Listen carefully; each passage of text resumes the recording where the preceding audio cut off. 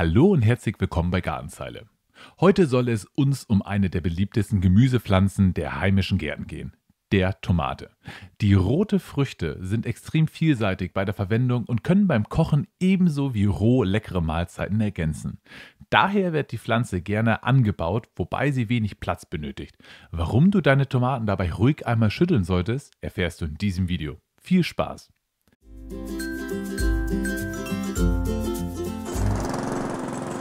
In den letzten Jahren ist es mehr und mehr üblich geworden, auf den Balkonen kleine Gemüsepflanzen zu ziehen, wofür sich die Tomaten hervorragend eignet, da sie im Kübel sehr gut gedeiht und nicht viel Platz in Anspruch nimmt.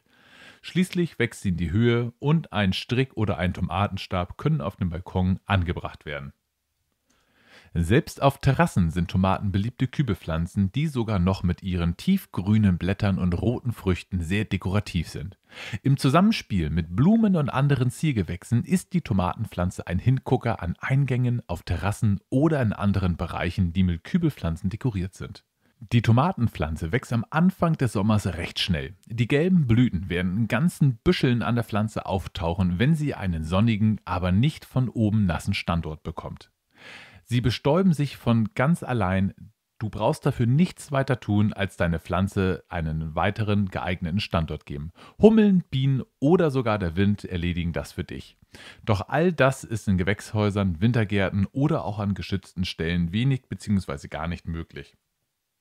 Durch das immer größer werdende Problem des Insektensterbens wird die Bestäubung überdies nicht mehr so umfangreich klappen, wie das noch vor wenigen Jahren der Fall war. Hier kannst du aber mit einem ganz einfachen Trick nachhelfen. Du schüttelst deine Tomatenpflanze. Bekannt ist, dass man manuell eine Bestäubung mit einem Pinsel erledigen kann, um den Blütenstaub zu verteilen. Aber so schwierig musst du es bei deinen Tomaten gar nicht machen.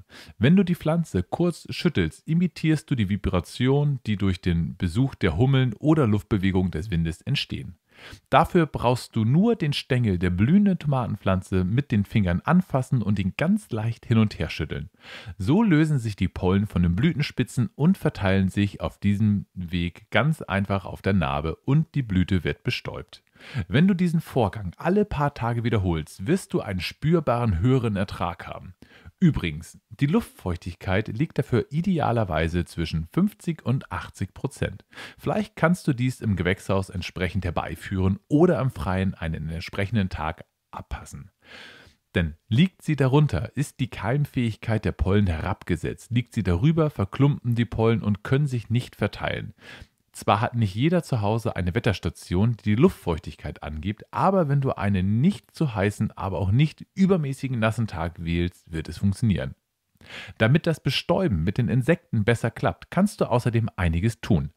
Beispielsweise im Gewächshaus regelmäßig die Fenster und Türen öffnen, damit die kleinen Insekten einfliegen können oder auch im Freien entsprechende Beipflanzen setzen, die die Bienen anlocken.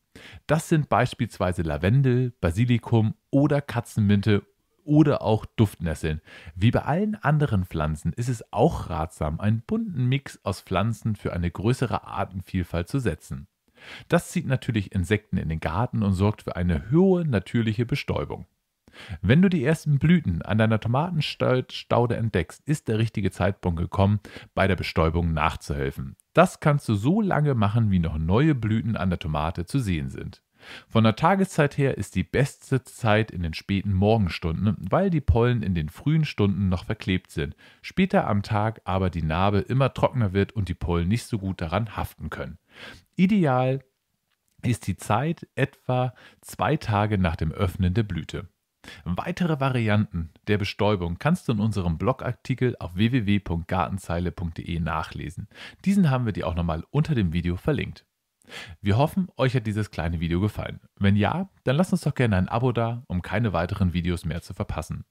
Falls du ein Freund des schriftlichen Wortes bist und dich für das Thema Garten interessierst, schau gerne auf unserem Gartenmagazin unter www.gartenzeile.de vorbei. Bis zum nächsten Mal.